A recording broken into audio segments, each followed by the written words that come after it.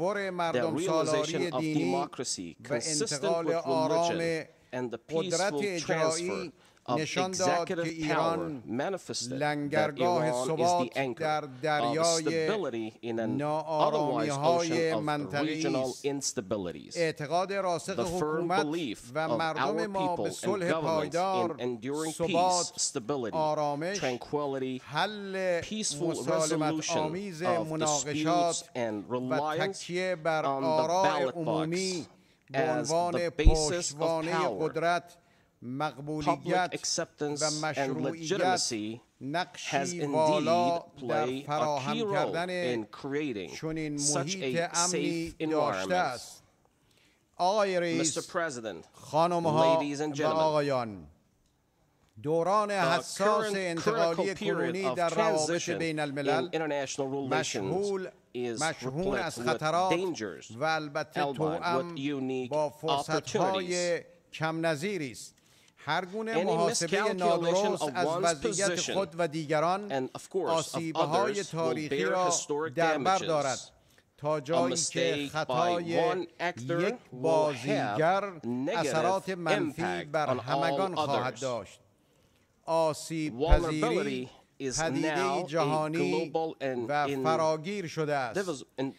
در این گذر حساس در تاریخ مناسبات جهانی اصر بازی های با حاصل جمع سفر هایان یافته است ولی هنوز معدودی از بازیگران روش ها و ابزار های کهنه شده و امیغا ناکار آمد را به کار می گیرند تا برتری و سلطه پیشین خود را حفظ کنند نظامیگری و استفاده از ابزارهای نظامی و خشن برای انقیاد دیگران نمونه ناکارآمدی از تداوم کنشهای کهنه در شرایط نوین است.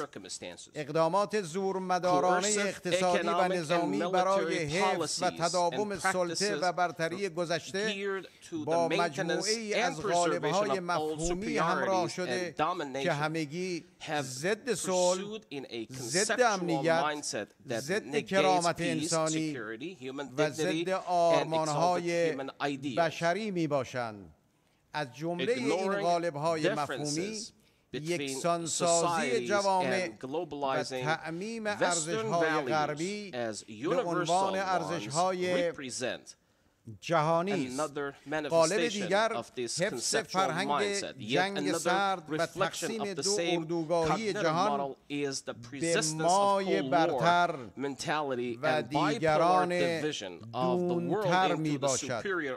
قالب دیگر مفهومی ایجاد ترس و تهدید از برآمدن بازیگران نوظهور در جامعه جهانی است. در چنین فضایی خشونت های دولتی و غیر دولتی مذهبی و فرقی و حتی نژادی افزایش یافته و هیچ تضمینی وجود ندارد که دوران آرامش بین قدرت های بزرگ نیز در دام گفتمان ها رفتارها و کردارهای خشن گرفتار نیاید. تأثیر فاجعه بار روایت های افراطی و خشن را نباید دست کم گرفت. در این میان خشونت راهبردی که در تلاش برای حذف بازیگران منطقه از فضای عمل طبیعی آنها سیاست های موسوم به مهار تغییر نظام های سیاسی از بیرون مرزها و تلاشی که برای برهم زدن حدود صعود و صعور سیاسی متبلور می شود بسیار خطرناک و تنش آفرین است. در گفتمان متعارف سیاسی بین المللی یک مرکز متمدن با هاشیاهای غیر متمدن به تصویر در آمده است. در این تصویر نسبت کانون قدرت های جهانی و هاشیه ها نسبتی آمرانه قلمداد شده است. گفتمان مرکزگرایی شمال و هاشی گرایی جنوب سبب استقرار نوعی نظم تکویی و منولوگ در سطح روابط بین المللی شده است. ایجاد مرزهای نادرست هویتی و بیگان ستیزی های خشن رایج نتیجه قهرمانی این گفتمان است. گفتمان های تبلیغاتی و بی اساس دین ستیزانه، اسلام حراسانه، شیعه حراسانه، و ایران هراسانه به واقع تهدیدی جدی علیه ثبات جهانی و امنیت انسانی است. این گفتمان تبلیغاتی با طرح الغای تهدیدات فرضی و خیالی شکل خطرناکی به خود گرفته است. یکی از این تهدیدات خیالی خطر موهوم ایران است. به بهانه این تهدید موهوم چه اقدامات ناهنجار و چه جنایت ها در سه دهه گذشته صورت نگرفته است. صدام حسین به سلاح‌های شیمیایی و حمایت طالبان تنها نمونه ای از این جنایت هاست سریحن و با قاطعیت تمام و با استناد به مدارک و شواهد متقن اعلام می دارم که اونهایی که دم از تهدید ایران می‌زنند یا خود تهدید علیه صلح و امنیت بین المللی یا به تهدید دامن می‌زنند. ایران نه فقط تهدید نیست بلکه در آرمان و عمل پیوسته منادی صلح عادلانه و امنیت همه جانبه بوده است. آقای رئیس خانم ها آقایان در کمتر نقطه ای از جهان خشونت مانند غرب آسیا و شمال آفریقا خانمان سوز بوده است. مداخله نظامی در افغانستان جنگ تحمیلی صدام حسین علیه ایران اشغال کویت مداخله نظامی علیه عراق و رفتار خشن سرکوبگرانه علیه مردم فلسطین ترور شخصیت های سیاسی و مردم عادی در ایران و بمبگذاری در کشورهای منطقه نظیر عراق. افغانستان و لبنان. نمونه هایی از خشونت در سه دهه گذشته در این منطقه آنچه بر مردم مظلوم فلسطین می رود چیزی جز یک خشونت ساختاری نیست. سرزمین فلسطین در اشغال است. حقوق اولیه فلسطینیان به طور فاجعه باری نقض می شود و آنها از بازگشت به خانه محل تولد و دسترسی به سرزمین مادری محرومند. جنایاتی که بر مردم بیگناه فلسطین می رود خشونت نهادینه ای را به نمایش می گذارد که برای توصیف آن آپارتای مفهوم و واژه کم وزنی به نظر می آید فاجعه انسانی در سوریه نمونه دردناکی از گسترش فاجعه آمیز خشونت و افراد در منطقه ما از ابتدای بحران و از زمانی که برخی از بازیگران منطقه و بین المللی با سرازیر کردن منابع تسلیحاتی و اطلاعاتی و تقویت گروه های افراتی سعی در نظامی کردن این بحران داشتن ما تأکید کردیم که بحران سوریه راه حل نظامی ندارد. نمی‌توان اهداف استراتژیک و توسعه طلبانه و به هم ریختن توازن و تعادلهای منطقه‌ای را با پنهان شدن پشت کلمات بشر دوستانه تحقق بخشید. هدف مشترک جامعه بین المللی باید خاتمه سریع به کشتار مردم بیگناه باشد. ما ضمن محکوم کردن هر گونه استفاده از سلاح‌های شیمیایی از پذیرش کنوانسیون منع سلاح‌های شیمیایی توسط سوریه استقبال می‌کنیم و بر این باوریم که دستیابی گروه های افراطی و تروریست به این سلاحها بزرگترین خطر فراروی منطقه است که باید مد نظر قرار گیرد. همزمان استفاده غیرقانونی و غیر کارآمد از تهدید یا استفاده از زور تنها به گسترش خشونت و بحران در منطقه دامن خواهد زد. تروریسم و کشتن انسان‌های بیگناه اوج افراد و خشونت است. تروریزم برای خشن فراگیر و فرامرزی است. اما خشونت ها و افراد هایی که تحت عنوان مبارزه با تروریزم و از جمله استفاده از هواپیماهای بدون سرنشین علیه مردم بیگناه صورت می‌گیرد نیز محکوم است. در اینجا باید از ترور دانشمندان هستی ایران توسط جنایتکاران نیز سخن بگویم آنها به چه جرمی ترور شدند؟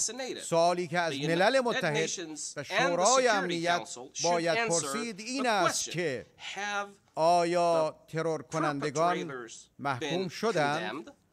تحریم های غیر عادلانه به عنوان جلوه دیگری از خشونت ذاتن ضد صلح و ضد بشری هستند که برخلاف تبلیغات تحریمگران دولت ها و نخبگان سیاسی را هدف قرار نمی دهند بلکه بیش از همه مردمان عادی را قربانی دعواهای سیاسی خود می کنند میلیون ها عراقی را فراموش نکنیم که در اثر تحریم هایی که با زربرق های covered in حقوقی در نهادهای بین المللی پیچیده شده بودند آسیب دیدند جان باختند و هنوز عده قابل توجهی از آنها در سرتاسر their زندگی. باید زجر بکشند این تحریم ها خشونت آمیزند هوشمند و غیر هوشمند یک جانبه و چند جانبه ندارند. این تحریم ها ناقض حقوق مسلم بشری. از جمله حق صلح حق توسعه حق دسترسی به بهداشت حق آموزش و فراتر از همه حق حیات می باشند. نتیجه تحریم ها علارغم هر گونه لفاظی و بازی با واجه ها همون آتش افروزی و جنگ طلبی و نابودی انسان هاست این آتش فقط دامن قربانیان تحریم را نمی‌گیرد بلکه به اقتصاد و زندگی مردم جوامع تحریم کننده نیز لطمه وارد می کند. آقای رئیس، خانم ها، آقایان خشونت و افراد امروز نه تنها ابعاد مادی بلکه ابعاد معنوی زندگی انسان و جامعه امروز را در بر گرفته است. خشونت و افراد جایی برای مدارا و تفاهم که لازمه زندگی انسان و جامعه مدرن است. نمی‌گذارد. نابردباری مسئله امروز جهان ماست. باید بردباری را در پرتو اندیشه های دینی روی کردهای فرهنگی و رحیافت های سیاسی تقویت کرد. جامعه انسانی را باید از مرحله بردباری منفی به مرحله تعاون مشترک ارتقا داد. دیگران را نباید فقط تحمل کرد. بلکه باید با دیگران کار کرد. مردم جهان از جنگ خشونت و افراد هستند و این فرصتی بینظیر است. اونها امید به تغییر وضعیت کنونی دارند. جمهوری اسلامی ایران باور دارد که با ترکیب هوشمندانه از امید و اعتدال می توان همه چالش ها را مدیریت کرد. جنگ افروزان می‌خواهند امیدها را بخشکانند در حالی که امید به تغییر مثبت مفهومی فطری دینی فراگیر و جهانی است. زیربنای امید باور به اراده عمومی مردم جهان برای مبارزه با خشونت و افراد تغییر پذیری مخالفت با ساختارهای تحمیلی بها دادن به گزینش و عمل مسئولانه انسانی امید بی تردید یکی از بزرگترین نعمتهای خداوند مهربان به همه انسان هاست اعتدال نیز به معنای حرکت خردمند هوشمندانه هوشمندانه زمانمند و مکانمند در تلفیق آرمانهای والا گزینش راهبردهای اثرگذار و در نظر گرفتن واقعیت هاست مردم ایران در انتخابات اخیر در حرکتی هوشمندانه به گفتمان امید و تدبیر و اعتدال رأی دادند ترکیب امید و تدبیر و اعتدال در سیاست خارجی به آن معناست که جمهوری اسلامی ایران به عنوان یک قدرت منطقی نسبت به امنیت منطقه و جهان مسئولانه برخورد می کند. با آمادگی همکاری چند جانبه و همه جانبه با سایر بازیگران مسئول در این عرصه ها را دارد. ما از صلح مبتنی بر دموکراسی و صندوق رای در همه جای جهان از جمله در سوریه و بحرین و دیگر کشورهای منطقه دفاع می کنیم و معتقدیم راه های خشونت آمیز برای بحران های جهانی وجود ندارد. و تنها به کمک خرد انسانی و با تعامل و اعتدال می توان بر واقعیت های تلخ جامعه بشری غلبه کرد. لذا تضمین صلح و دموکراسی و تامین منافع مشروع همه کشورها در جهان و از جمله در منطقه خاورمیانه با نظامیگری محقق نمی شود ایران به دنبال راه حل مسائل و نه تولید مشکلات است. هیچ پرونده و موضوعی نیست که با امید و اعتدال با احترام متقابل و با نفی خشونت و افراد قابل حل نباشد. اجازه دهید به پرونده هسته ای ایران اشاره کنم.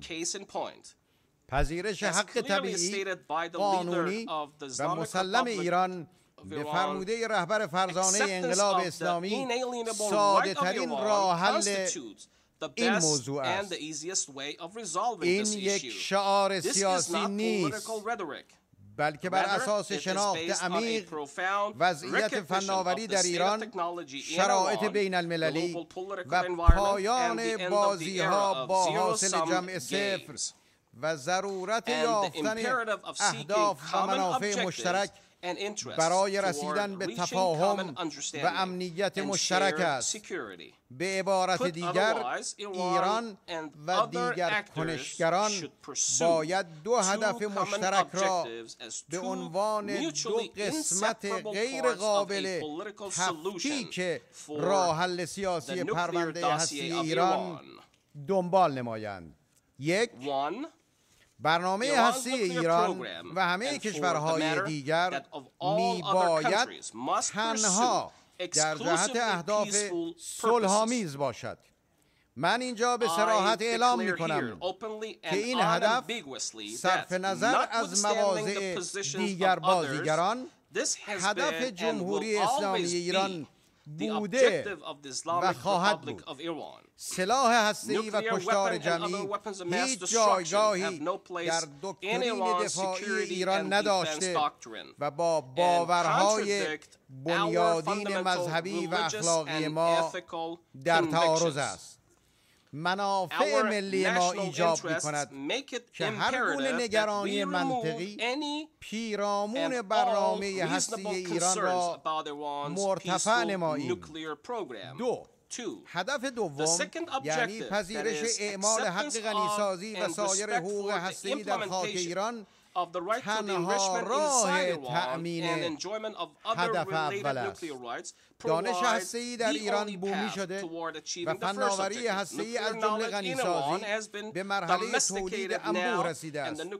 لذا تصور این که با مانع شدن از برنامه هستی ایران از طریق اعمال فشارهای غیرقانونی می توان صلحآمیز بودن چنین برنامه ای را تضمین کرد.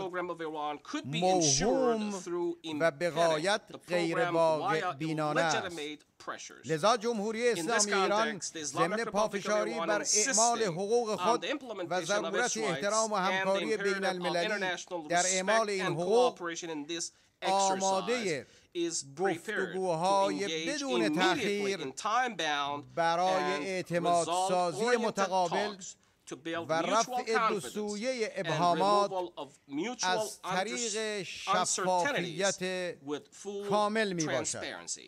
ایران به دنبال تعامل سازنده بر اساس احترام متقابل و منافع مشترک با دیگر کشورهاست. و در این چارچوب در پی افزایش تنش با ایالات متحده آمریکا نیز نیست.